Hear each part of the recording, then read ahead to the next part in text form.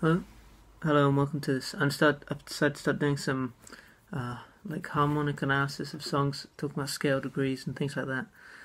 So, um, I, I don't really know how to set the the lesson. This this lesson for Mac DeMarco Ode to Viceroy.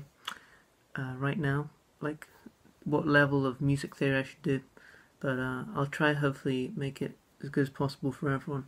So there's a if you don't already know the song, the chords uh, maybe just go learn them. But this isn't a tutorial. There's plenty of other good tutorials out there. Like there's a um, Jensa has some too. Has a good one. So I'm just talking about the like scale degrees and things. So I'll get into it now. So the uh, it's in the key of um, I'm going to be speaking relative to the capo So imagine imagining it was off. I'm just doing this so it's close to the record version. And he does like pitch it up, pitch control with his tape machine. So it's not like the track version isn't. I won't be in tune with the track version because he's he's pitched it up or pitched down something. But anyway, the so there's that riff going over the top that goes.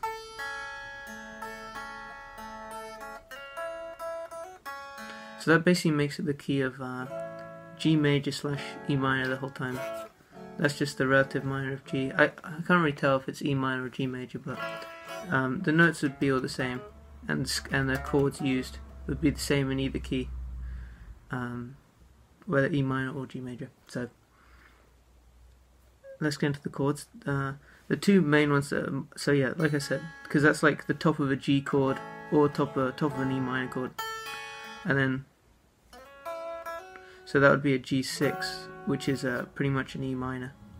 So that keeps it in G major, but then you see the chords. The chords. Are, uh, so this is the C major seven um, which is the fourth scale degree.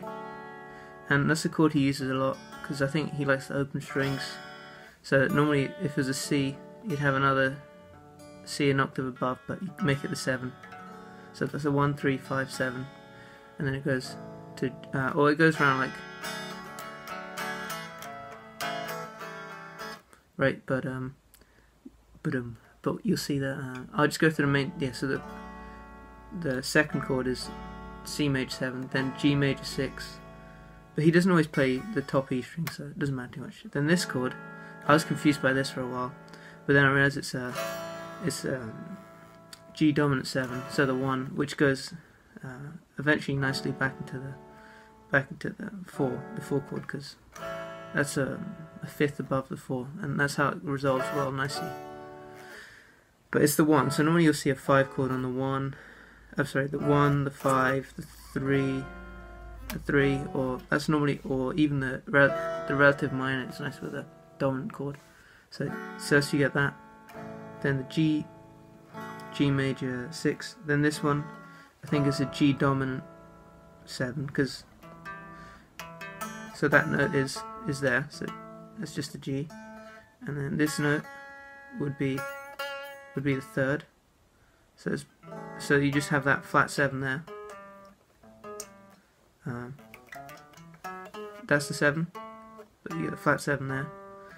And then this chord, after the, is a diminished chord, which is something I, you see quite a lot in a few of Mac songs. So, so if that's the 1, right, and then that's the C was the, the, the 4, between the 4 and the 5, uh, I forgot what the interval's called, but on that interval, he does a lot. So, for example, in Freaking Out the Neighborhood, he goes.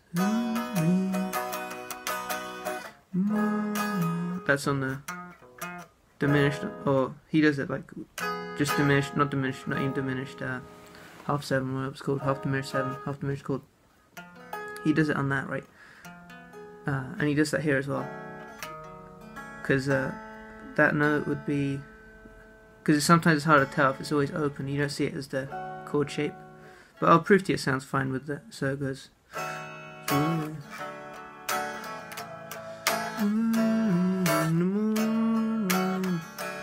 So yeah, so those those would be the chords uh, for the for the verse bit. That's just the verse, right? So you see how it makes sense. It's kind of all in one key, and well, that's one of the reasons it sounds a bit more interesting than other songs is because um, uh, it's not so common to have a um, like I don't know if you find a boring song that you don't you think is really trash.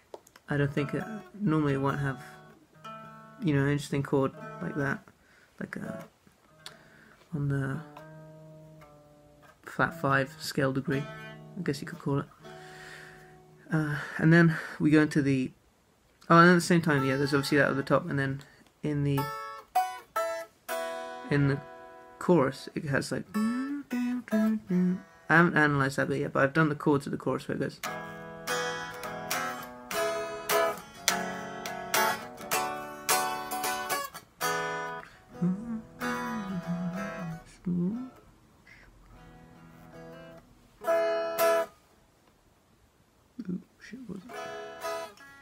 Okay, so the first one is kind of it's kind of F sharp diminished, which is the seventh degree of the scale, which revol resolves nicely to like a G, uh, the G, or it could be the I see it more as a D6 because you know D6 like is in songs like Still Beating and it goes so I see the C C6 with the F sharp on the bass because F sharp is the is the third of um of a D ma D major. So that's just basically the same as that note there, which would normally be in a D6, but on a lot two two octaves below. I, I've used that. That's a good chord to use in songs if you're making songs. I think it's a nice voicing, especially for for the guitar. Sufjan Stevens use it a lot anyway, so.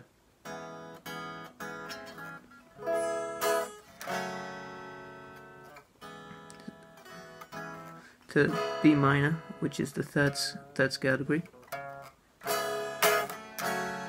Nice, that's a nice um, resolves nicely because uh, B minor is a fifth uh, is the fifth scale degree in E minor, so it goes. Oh.